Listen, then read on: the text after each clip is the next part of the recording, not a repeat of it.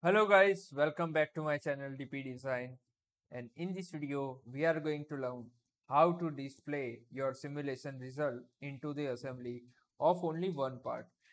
You have seen many simulation where whole the assembly is in a original condition and one part is showing the FEA results, right? That looks cool actually when you see it and it's good to like what you can say you can show to your uh, in a presentation in a better way that this is my assembled part and this is having the simulation result right? As you can see my thumbnail this is upright having the some FEA result and the whole assembly is in this uh, appearance. So how to do that? Let's get started with this. So we have one assembly which is having the our uh, steering rack and pinion assembly. Then we have wishbones, our uprights, caliper, brake rotor, and also the wheel assembly, right? So to get started, you have to create a new study. I will select the static study. Okay. Now, as you can see, we have so many parts over here. So you only have to perform the analysis on your knuckle. So what you can do, you can just click on it and yeah, this is your upright. You, you can select and add to a new folder. That is your, you can say upright.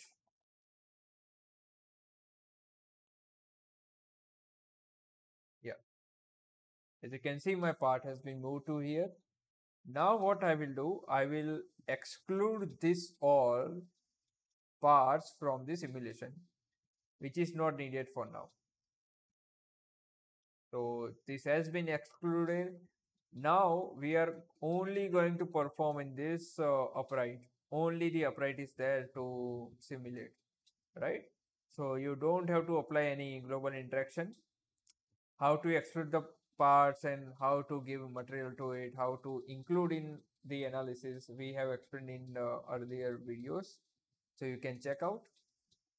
Now we will fix our geometry. This is just for a basic understanding. We are not going into much technical details for now. I am fixing. Yeah, uh, yeah. I am applying the forces right now.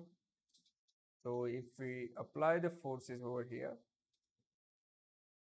this holes, which is our upper link and lower link, now you can apply the maybe 5000 newton or uh, 2000 I will take 2000 newton of force.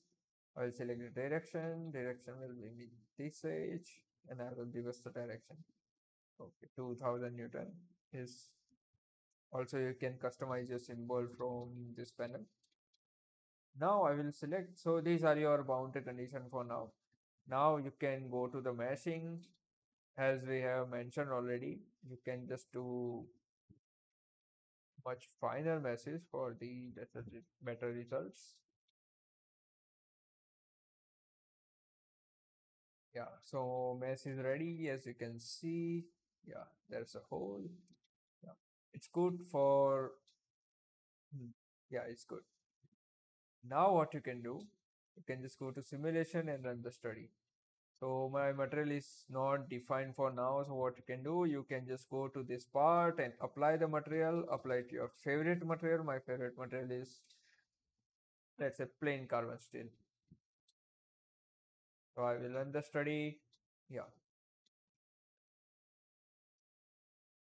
So as you can see, my results has been displayed over here what if you want to display the result in the assembly only. As you can see there's a there's an assembly which is not having the FEA results over here on the upright. So if you only showcase on the upright which has been uh, performed now what you can do your cross processing has been done in this uh, FEA that should be on whenever you are going to display your result. So this is my dis displacement, this is my stress, and this is my strength, right? Now I will make it uh, true scale. Yeah. Now you go to the model and whenever you go to the model here you can select the simulation display over here. So whenever you click on the simulation display it will show that display in a real view and OpenGL and also design guidance overlays the transparent image of the simulation results. Right so this is your model and it will overwrite one display that is showcasing your FE result. Okay. And what you want to display over here in this uh, upright? So i will select one stress plot or also you can select the displacement plot as well. So it will showcase the displacement. I will make my real view off so you can better interpret the results now you go to the simulation display and click the stress on. So as you can see it is looking beautiful and cool. Let's say it's very cool to showcasing the result. And it's kind of it has been done in a assembly assembly level. You can assume that.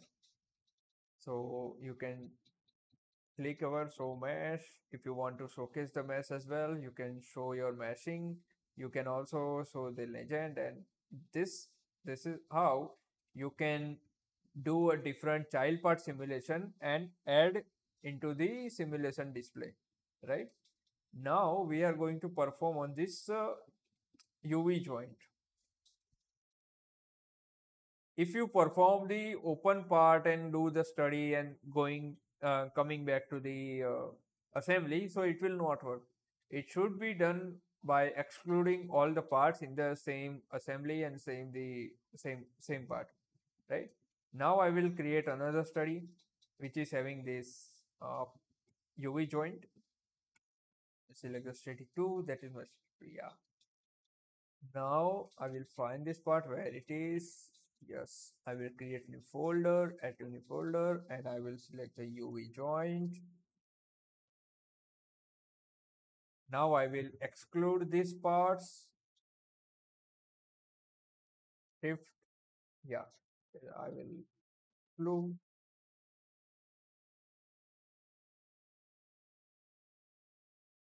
I think it's a cool method for showcasing your result actually.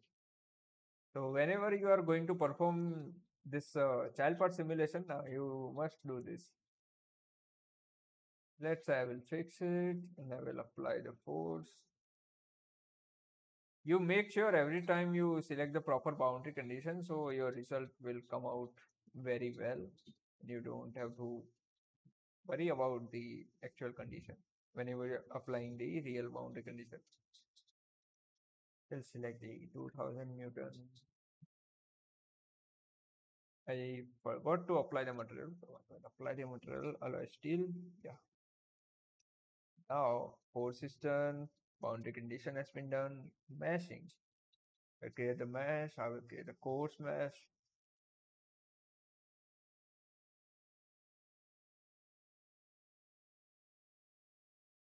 My geometry is crying right now.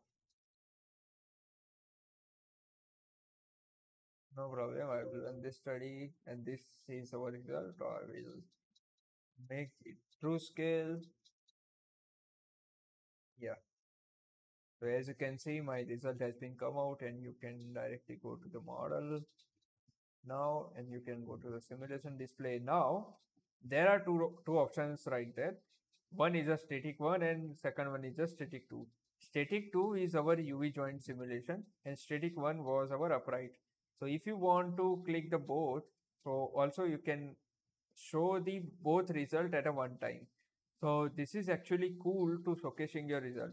If you do the same on the other parts, then it will show, you can show the result in the assembly and it will be good interpretation of the result and you can if you if someone wants to understand then uh, this is the better method to showcase the result you can here change the value for good perform result yeah perform result mesh and so legend okay So this is how you can interpret, right? This is stress, this is stress.